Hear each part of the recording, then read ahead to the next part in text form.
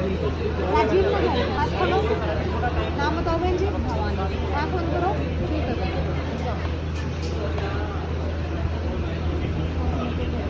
पहले इलाज आधा कट गया ही तो आधा कटा हुआ है नहीं तो कहीं दिखाया था बहन जी झाड़ा वाड़ा लगवाने जाते हो कहीं घूमने बैठते कैसे करते?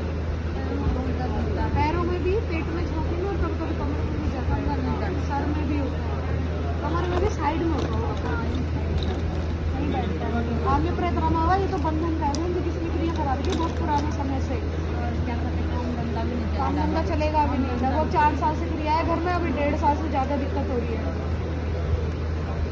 दोनों को ही दिक्कत है मेहमानों का भी आना जाना बहुत होते रहता है इसका किसी मेहमान बस आते हैं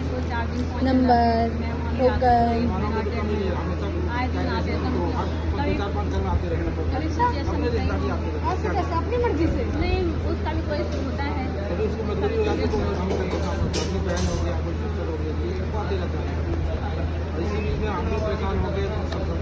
काम धंधा भी खाते खूब है लेकिन लेबर आते तो नौ चेक करा लो मैं नहीं करा अभी नहीं करा सकती मैं काम करने के लिए तो अर्जी लगाओ।